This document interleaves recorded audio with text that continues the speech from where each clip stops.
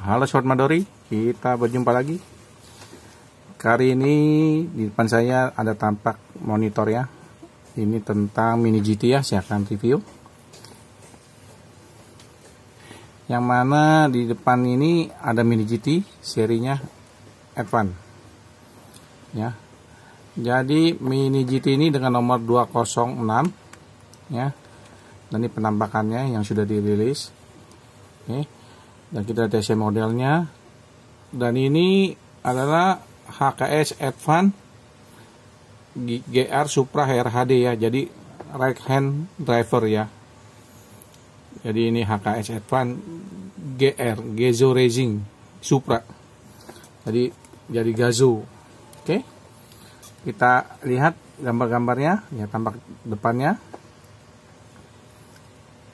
Terus dia ada tampak belakangnya ya oke. Okay, jelas. Dan ada tampak sampingnya. Oke. Okay.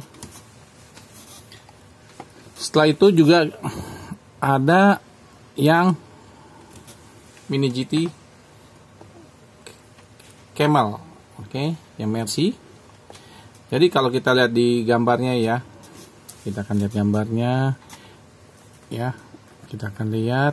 Di sini tidak ada tulisan camelnya dan kalau kita lihat di sini juga tidak tidak ada hologramnya. Dan ini ada message band 190E 2.5 16 evolution ya. Dengan dia punya camel 950 ya yellow. Terusnya dia ininya ada tulisannya lagi invitasional Kialami LHD jadi ini setir kiri ya kalau kita lihat ya ini penampakannya kotaknya sama. Nah tampak mobilnya detailnya tampak depan tampak belakangnya tampak samping. Oke. Jadi kita lihat Mercedes-Benz 190E 2.5 16 Evolution 2 terusnya dia punya ini nomor 3 nya bodinya Camel 1990 Yellow Patch 200 Invitational Kialami. Oke dan ini yang sudah produk yang sudah keluar ya sudah tiga biji rencana yang tadi sudah keluarnya kita belum jelas juga ya RHD version oke okay. terusnya produk yang ketiganya adalah LB Works Lamborghini hurakan versi versi 1 light blue oke okay. Liberty Walk lagi nah kita lihat tampak sampingnya oke okay. dan kita lihat tampak depannya. Oke tampak depan tampak sampingnya. Ya ini tampak belakang tampak samping.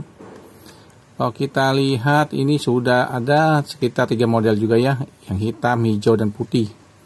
Oke ini versinya kalau kita lihat setirnya apa ya. Jadi ini ada RHD untuk versi yang ini yang saya pegang ya dengan stiker hologram Lamborghini original. Oke. Okay. terusnya yang terakhir yang akan saya review juga itu Range Rover Defender 110 Red Bull Luka.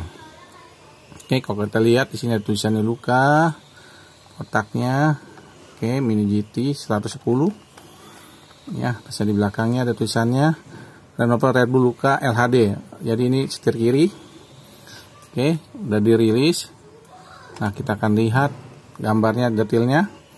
Tampak depannya, belakang. Oke. Dan tampak sampingnya. Oke, tampak samping. Jadi Range Rover Range Rover Defender 110 Red Bull Luka hanya tersedia LHD version only. Oke, LHD itu left hand driver ya. Dan sudah ada tiga item yang sudah keluar ya. Yang model yang begini ya. Yang Camel Trophy sama yang like blue surfboard. Oke. Oke sahabat Madori kita akan berjumpa lagi di konten berikutnya. Jangan lupa like and subscribe channel saya ini agar bisa berkembang lebih majunya. See you sahabat Madori. Kita akan jumpa lagi. Bye